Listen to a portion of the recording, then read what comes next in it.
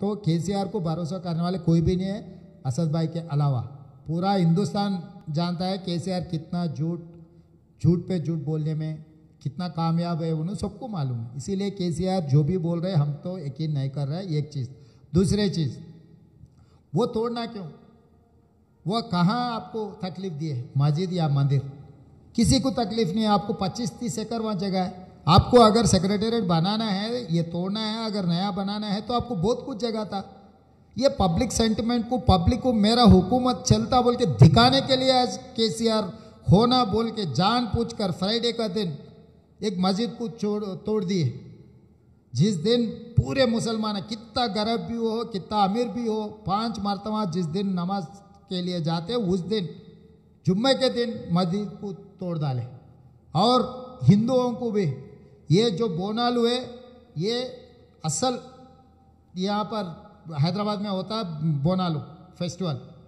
आज अभी शुरू हुआ, अब, आज वो मंदिर को भी नलपोचम्मा मंदिर को तोड़ दिए। इसका मतलब केसीआर ये दिखाना चाह रहा है कि मेरा हुकूमत चलता मेरा मनमानी से तेलंगाना को मैं चलाता हूँ। कौन पूछने वाले है, कौन आगे आने वाले है? बोल के केसीआर एक को फकर से ऐसे काम कर रहे तो उसको बीजेपी और एमआईएम राइट लेफ़्ट बन के उनको साथ दे रहे तो इसीलिए कांग्रेस पार्टी आज आवाज़ उठाए या मुसलमानों के तरफ़ से और हिंदुओं के तरफ़ से, अगर सचमुच अगर तोड़ के नया बनाने का कोई सेंटिमेंट नहीं है, खाली स्ट्रक्चर वैल्यू रहा तो क्यों राम मंदिर और बाबरी मस्जिद के नाम पर लाखों के जाना खा लिए आप लोग?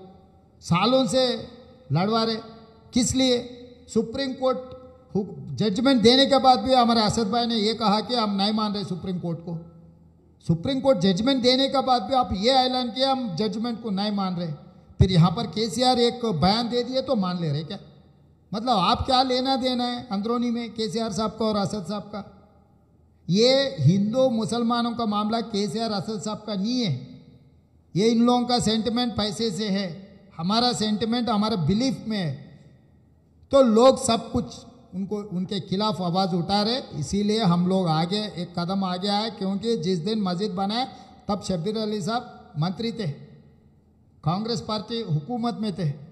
तब हम बनाए हम बनाए सो मस्जिद को, केसीआर तोड़े, निज़ाम सरकार बनाए सो मंदिर को। आज इन लोग दोनों मिलके तोड़ रहे। इसीलिए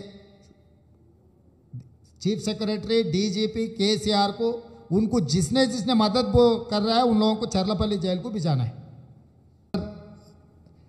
के सी आर सौ बातें बोले, ये छः साल में। आपको मालूम है, बारह परसेंट मुसलमान भाइयों को रिजर्वेशन के बारे में कहा। चार महीने में हम बारह परसेंट बनाते बोल के। जिस दिन कांग्रेस पार्टी रूलिंग में था, तब आज़ाद साहब शबीर अली साहब मिलकर राज्य सरकार को और श्रीमती सोनिया गांधी को कन्विंस करके जो मुसलमान बच्चे कारखाने में मर जा रहे, लारी सिलेंडर पान डब्बे में ऑटो रिक्शा चला के जीना बहुत मुश्किल से जी रहे बोल के, वो बच्चों को डॉक्टर इंजीनियर कामयाब बनाने के लिए चार परसेंट रिजर्वेशन दिए। उसके बाद के सी आर ऐलान किया किया टी आर एस सत्ता में आते चार महीने में बारह परसेंट बोल के। मैं आज पूछ रहा हूँ आपको छः साल हो गए, कहाँ गया बारह परसेंट इसका मतलब धोखेबाज बात हम बोलने में के सी आर माहिर है, झूठे बातों बोलने में माहिर है। ये झूठे बातों में हमारे एम आई एम क्यों उनके हिस्सेदार बन के आगे चल रहा है, हमको तो समझ में नहीं आ रहा। के जो भी बोले, ये एक चीज़ नहीं, शबीर साहब बोले ना, कहीं पर भी रिजर्वायर बनाना है तो मैं कुर्सी डाल के यहाँ बैठ के ये बनाते बोलते ऐसे के